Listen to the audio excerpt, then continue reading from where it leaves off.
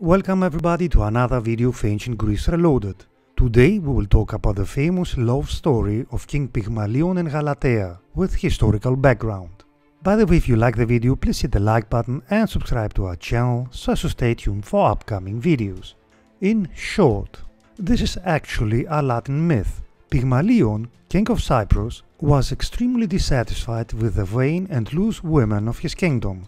Instead of seeking a mate, he spends his time carving from marble his ideal woman, whom he lovingly refers to as Galatea.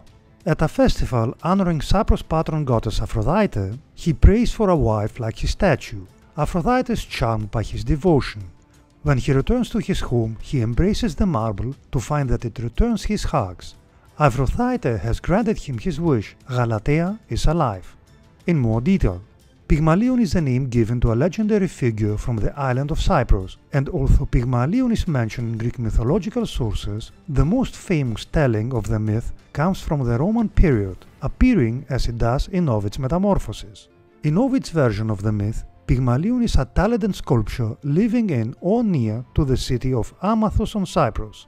Pygmalion was so engrossed in his work that he shunned the outside world and came to detest his fellow citizens of Cyprus. In particular, he came to despise all women, for he had seen the Propoetides, the daughters of Propoetus of Amathus, prostituting themselves. The Propoetides had been cursed by Aphrodite after they had neglected to worship the goddess. As a result, Pygmalion would spend many hours in his studio, and one sculpture in particular took up most of his time and effort.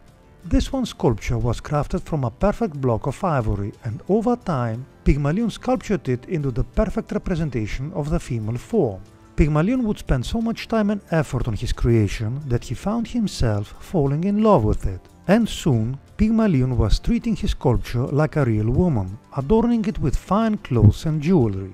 Such was Pygmalion's love for the sculpture that the artisan would exit his studio and visit the temple of the goddess Aphrodite.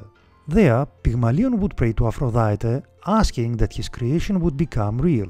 Aphrodite heard the prayer of the sculpture and, intrigued, traveled to Cyprus to look inside Pygmalion's studio.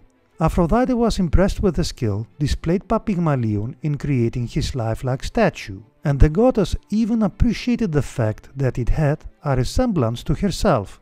Thus Aphrodite decided to give life to Pygmalion's creation.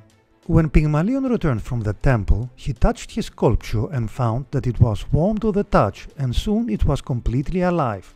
Creator and creation were wed and Pygmalion continued to be blessed by Aphrodite, for he soon became father to a daughter, Paphos, who gave her name to the city found upon Cyprus. In some different versions of the story, Paphos is actually a son of Pygmalion and a founding figure for the city of Paphos. Other sources, including the Bibliotheca, suggest that Pygmalion was more than just a sculpture and perhaps was even a king of Cyprus and father of a daughter Metharme. There is a suggestion that the lost work of antiquity, De Cypro, sees Pygmalion not sculpturing the statue but taking one of the goddess Aphrodite from the temple and installing it in his living quarters, and it is then the statue that is brought to life by the goddess. The story of the Cypriot sculpture is often called Pygmalion and Galatea, for the statue has been given a name.